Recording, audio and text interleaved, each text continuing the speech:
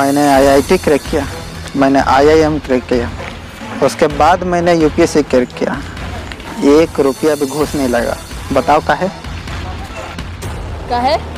है कि हम मोटिवेशनल वीडियोस नहीं देखते हैं। जब तक हिंदुस्तान में फालतू का मोटिवेशन है लोगों को घूस देना ही पड़ेगा नौकरी लेने के लिए।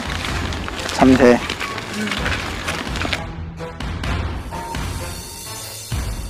तू कब बड़ा बड़ा एग्ज़ाम कर, करेगा रे? तुम कह रहे हैं कि घुसखोरन के कुछ पैसा वैसा दे के कुछ नौकरी उकरी करो तो नहीं दिन भर गांजा पी के धूक रहता है। जल्दी से बड़ा बड़ा सरकारी नौकरी लो।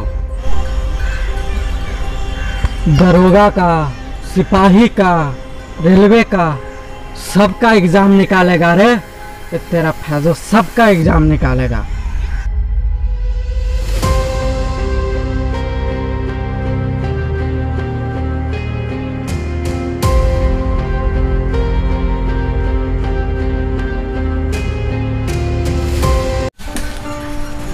क्या हुआ भैया?